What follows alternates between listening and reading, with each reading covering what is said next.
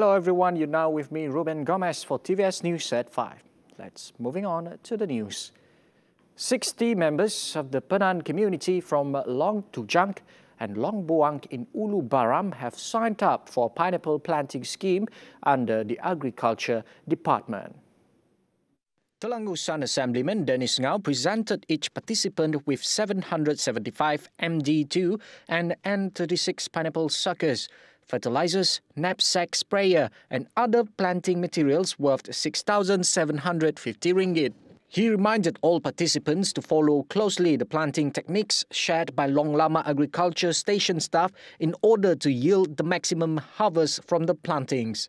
As of today, 179 families comprising 895 individuals from over 30 longhouses in Telang Usan constituency are taking part in the Agriculture Facilitation Fund 2020 projects ranging from pineapple planting, livestock rearing, fisheries, chicken and duck rearing, to vegetable growing and other activities.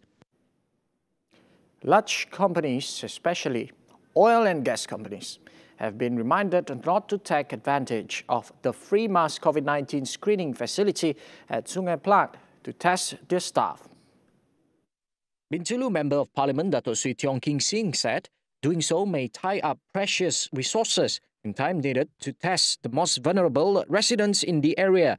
He said this act by large companies may place more burdens on medical staff who are under tremendous pressure to complete screenings on time stressed that these large companies must show moral responsibility by bearing their own testing costs and strictly control the movements of their employees. Tiong added that the employees from these companies came from various places in and out of Sarawak and must be taken into account.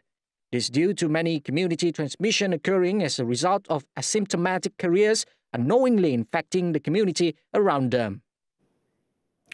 An isolation center for COVID-19 patients have been set up at Kanowit Indoor Stadium on January 22nd by the local authorities, assisted by the Malaysian Armed Forces through its 9th Infantry Brigade.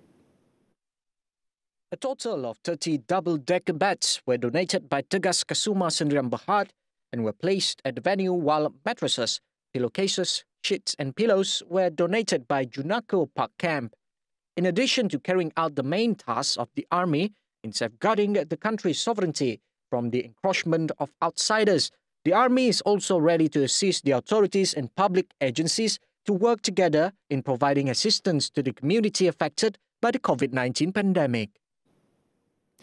It has been a year since the COVID 19 pandemic hit the country, yet the staff of the Ministry of Health, MOH, are still committed and working tirelessly in the fight against the deadly pandemic.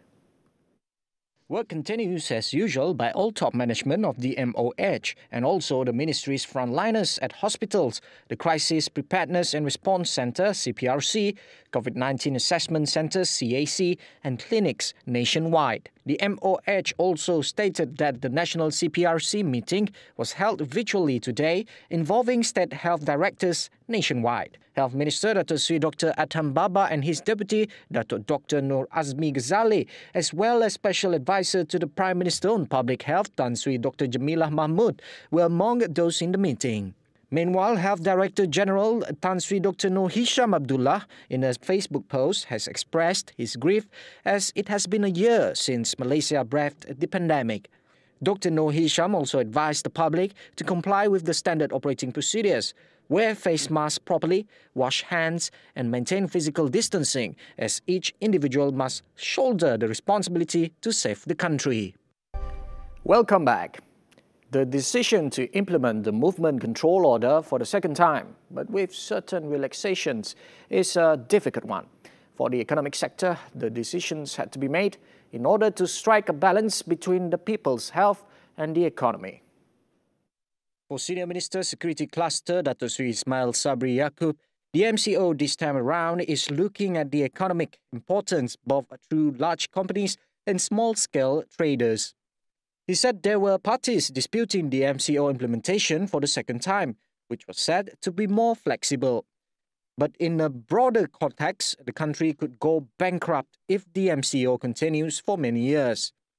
Ismail Sabri explained that although various assistance has been channeled to the people, the government cannot continue doing so, taking into account the long term effects. He said the manufacturing sector was opened not to take care of the big bosses, but because the economic chain involving company operations and the fate of workers should be given priority. Labour shortage is more detrimental to both estates and smallholders in Malaysia's oil palm industry than the global price drop. Khazanah Research Institute said a 30% reduction of labour from the current level would see production fall by half.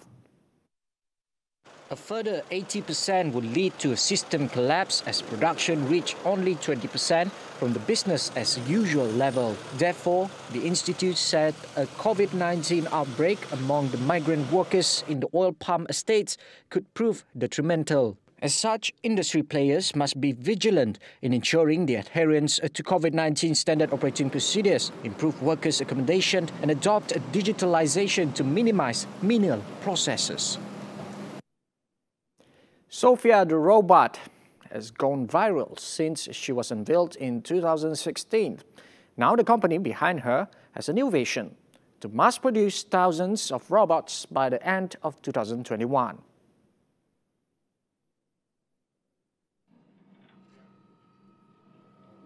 My name is Sophia.